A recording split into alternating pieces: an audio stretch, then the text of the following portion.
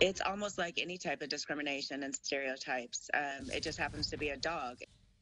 There's a lot of outrage on social media right now after a dog was euthanized and the owner says it never should have happened. Good evening. I'm Jessica Coons. Paul is the night off.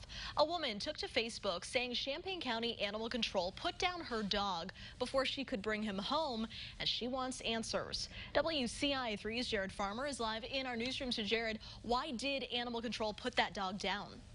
Jessica, Animal Control told me that it was because the dog was there for longer than its maximum holding time. Animal Control says they picked up the dog on December 18th without a collar. They say any dog without a tag is only held for five days. They say after the fifth day, it becomes the property of Champaign. The owner posted to Facebook saying that she was told Animal Control had her dog on the 23rd and that she wouldn't be able to pick up her dog until after the holidays. But when she went to go claim him yesterday, she found out that they put him down. Animal Control would not explain to us why the dog was put down so soon after being picked up. The dog was a mixed breed of chocolate lab and a pit bull.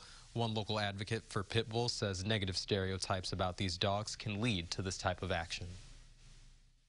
Pit bulls have been used for so many awful, awful things, but they're not any different than any other dog. They they just want love just like any other animal does. She says countering these stereotypes are crucial to protecting these dogs. She says that she will also be working with the owner to make sure her dog gets justice. Jessica? All right, if you get any more answers, Jared, let us know. Thank you.